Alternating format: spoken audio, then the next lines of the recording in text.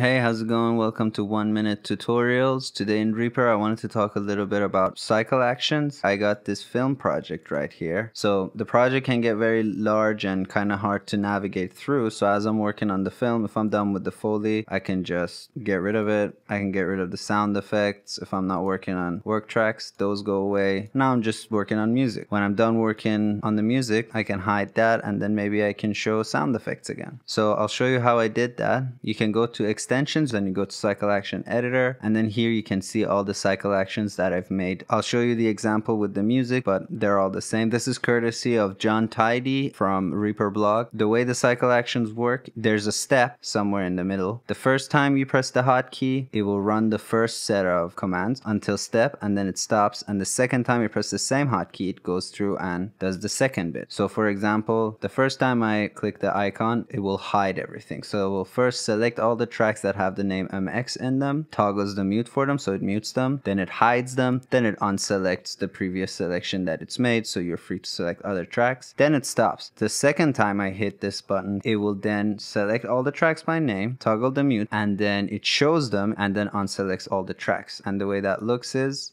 boom, MX is here, boom, it's gone, SFX gone, SFX back, and that's how it works. Now there's a lot more you can do with cycle actions, so I will actually split this up into multiple videos and show you some other custom cycle actions that I've made. Thanks for watching, and if you have any other questions regarding Reaper, Pro Tools, Logic, you know, let me know and I'll make a quick tutorial for you. Bye.